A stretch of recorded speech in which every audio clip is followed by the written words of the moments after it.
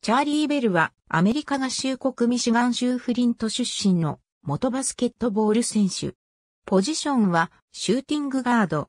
身長191センチメートル、体重91キログラム。高校は地元フリントのサウスウエスタンアカデミー高校でプレー。早くからスコアラーとして活躍し、30.5得点13.9リバウンドの成績で、高校通算2252得点は、地区の歴代新記録だった。大学は、バスケットの名門校、ミシガン州立大学に進学。1年目から先発に抜擢され、3年目には NCAA トーナメントを制覇し、ベルはオールフィナール4チームに選ばれた。ベルが在籍した1997から98シーズンから2000から01シーズンの間、ミシガン州立大学はすべてのシーズンでビッグ10カンファレンスを制し、NCAA トーナメントでは3度フィナール4に進出、一度の優勝を果たした。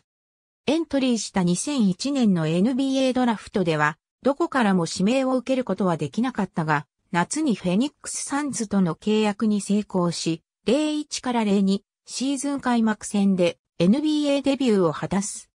しかしサンズでは5試合に出場しただけで、すぐに放出された。その後、独立リーグ ABA に振り、フェニックスエクリプスでプレー。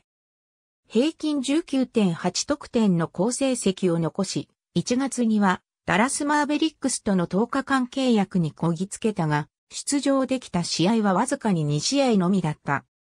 2002年3月に、ベルは新天地を海外に求め、イタリアのベネトントレビーゾと契約、02から03シーズンはビルトゥスボローニャでプレーしたが、故障でシーズンの大半を欠場、さらに給料の未払い問題も発生し、ベル自身が一番辛かったと振り返る日々を過ごした。ベルの才能が開花したのはイタリアに来て2年目、リボルノの地に来てからであった。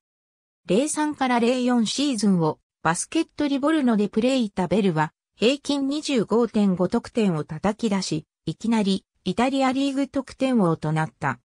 このオフにはイタリアを離れ、スペインへと渡る。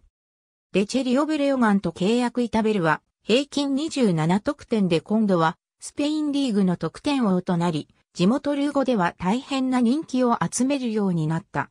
ヨーロッパで成功を収めたベルは2005年にミルウォーキーバックスと契約し、NBA 帰り咲きを果たした。バックスではシューターとして活躍。